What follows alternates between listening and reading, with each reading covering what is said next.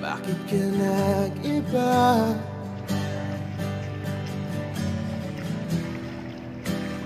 Meron na bang iba? Sana sinabi mo Para di na umasang may tayo pa sa uli A few moments later. Tawag pa rin. Basta wala akong barong ang hanapan kita kay Miji. So, yun, si Jason, pag pagpunta ko sa, sinabi kasi ni Sam sa akin na, Brad, pwede makontak mo yung mga person, yung mga kabatch mo sa QAP. Yan, contacted them through, uh, One eternity later.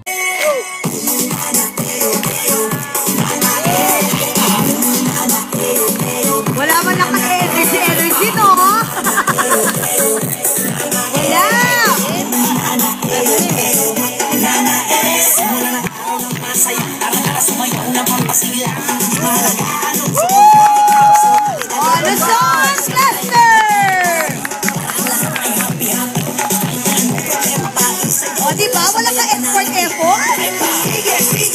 Bisaya!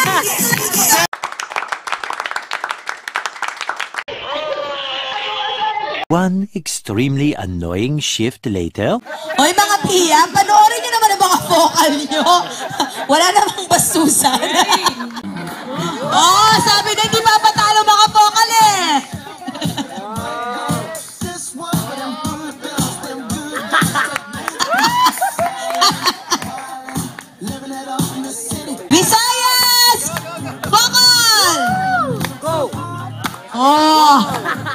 Nako!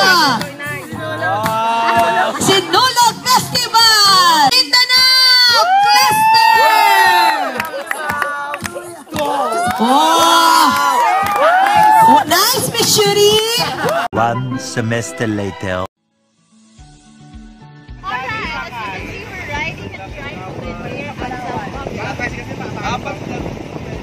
Ayan po, oh, merong floor. Merong extension. Ay, namin floor. Dami-dami ng map.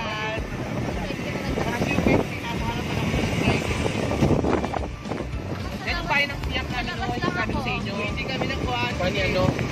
Ayan po yung mga pagmumukha ng mga kasama ko. Magbabay kaway-kaway.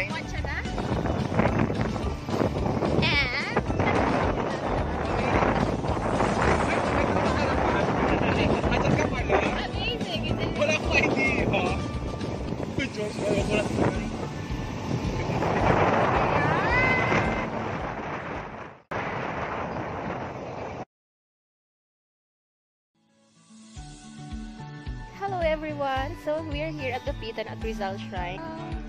Bahay ni Rizal and ng kusina ni Rizal here. So we're here and I'm with my co-officers in the National Federation. So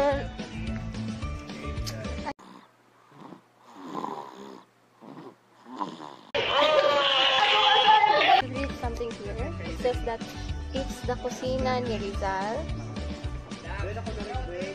It's 14 to 10 feet.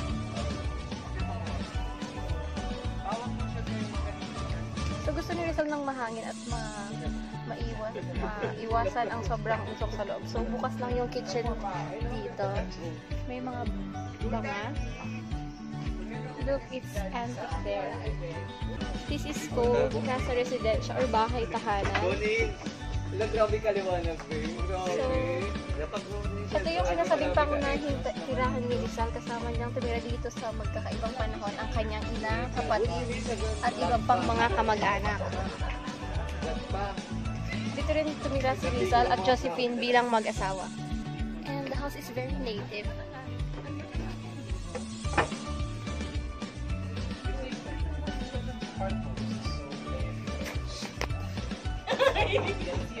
So makikita niyo po yung materials na ginamit sa bahay. Is puro lang siya ganito. Mga tali lang po siya. Ito na po yung bahay ni Rizal sa loob. Ito medyo IT-inspired na po ang bahay ni Rizal. Meron na pong ganito dito. May touchscreen kung saan makikita mo yung mga information. And ito naman po yung replica ni Josephine Bracken.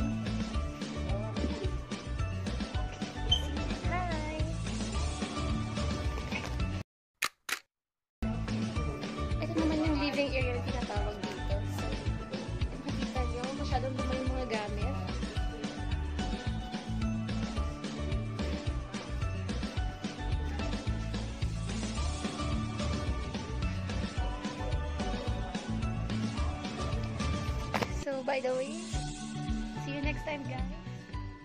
Thank you for watching.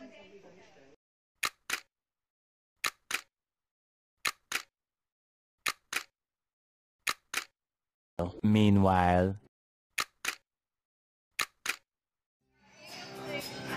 Queenie, where are you? Naka-video kayo. I got this feeling inside my bones.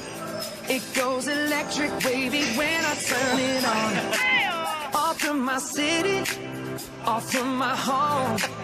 We're flying up no ceiling when we in our zone. And now I'm kissing your tears goodnight.